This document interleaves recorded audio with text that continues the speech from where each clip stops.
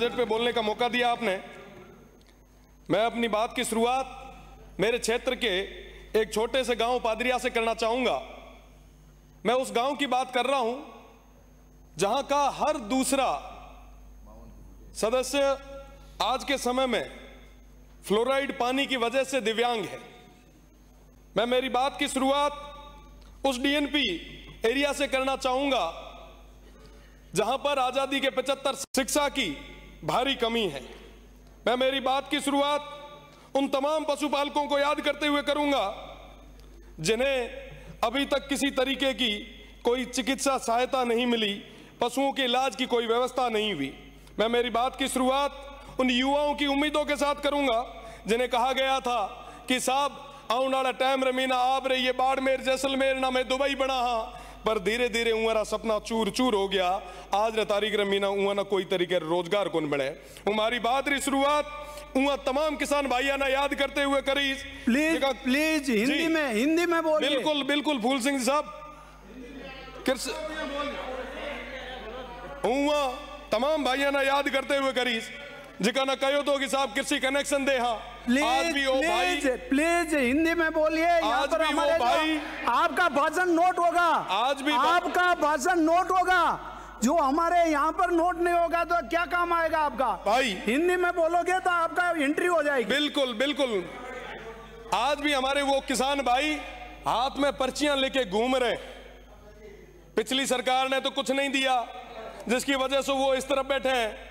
पर मेरा निवेदन मेरे तमाम भाइयों से, समस्त मंत्रीगणों से, कि साहब उन किसानों की आवाज़ को सुनो। बिजली की वजह से वो इस इस स्तर पर परेशान है कि वो आत्महत्या करने के कगार पे आ गए। आपने अभी कहा कि साहब, हम राजस्थान की इकोनॉमी को 300 बिलियन तक ले जाएँगे। 350 50 बड़े भूल गए जो ऐड कर दा 350 बिलियन डॉलर। मैंने समझ भी को नहीं आया कि साहब आप साढ़े तीन सौ बिलियन की बात तो करो पर सीमांत रो क्षेत्र था छोड़ दियो। आप बात करो साढ़े तीन सौ बिलियन सदस्य आपका पर आपने तमाम लेना है या क्या करना है? रिकॉर्ड में लेने के लिए प्लीज़ सदस्य प्लीज़। आप रिकॉर्ड में करने के लिए हिंदी में बोलोगे तो आपका हर लफ्ज नोट हो जाएगा।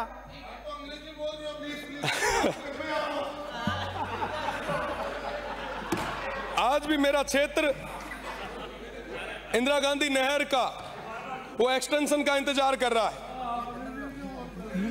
अब मैं हिंदी में ही बात रखूँगा, माननीय। इस बार के बजट में मैंने तमाम वो मांगे रखी। प्रदेश की सरकार के आगे रखी। इन्होंने सुझाव मांगे भर भर के सुझाव मैंने भेजे।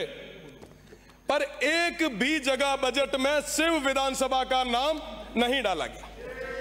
मेरे शिव विधानसभा की तमाम उन जनता ने पूछा उन भाइयों ने पूछा उन बुज़ुर्गों ने पूछा कि साहब क्या हुआ? शिव का नाम क्यों नहीं आया? मैंने कहा साहब यहाँ ने बड़ो दोरो लागो कि यहाँ पे एमपी रो चुनाव लड़े आया। मैं आपसे ही था। मैं कोई और नहीं था, कहीं और से नहीं आया था। कोई अगर रीस हुए तो मारे हम काटो मारे हुए लोगों कहीं कौन बिगाड़ी हुए इस बजट में आपने सीमांत के उन लोगों को नकार के उनके साथ एक कुठाराघात किया है। हम किसके लिए मांग रहे थे साहब? उन लोगों के लिए जो आज़ादी के बाद तक, अभी तक उन अभावों में जी रहे पर बदले में उनको क्या मिला? मैं आप सभी से निवेदन करना चाहूँगा, प्रदेश की सरकार से निवेदन करना चाहूँगा। अभावों में जी रहे उन लोगों की और आप देखें। देश मज़बूत तब होगा, बॉर्डर मज़बूत जब होगा जब वो सीमांत के क्षेत्र के लोग वो मज़बूत होंगे। उन योग, युवाओं को रोज़गार मिलेगा। उन किसान भाइयों को बिजली मिलेगी, चिकित्सा मिलेगी। पर साहब, आज के समय में कोई बात करने बात करने के लिए कोई तैयार नहीं। साहब कोई भी अगर बात है कोई भी चीज़ है आप हमसे करें। ये हो गया इनका। उन सीमांत के लोगों को किसी भी चीज़ की कोई सजा ना दे। दो चार बार आपने सीटी बजाई है। मेरा निवेदन कि एसडीजी गोल पे काम करने का समय आया है। मैं आपसे निवेदन करना चाहूँगा कि आने वाले समय में उन सीमांत के लोगों का विशेष ध्यान रखें। साथ ही साथ शिक्षा और चिकित्सा में हालात बद से बदतर होते जा रहे हैं। सारी सीटें खाली पड़ी है।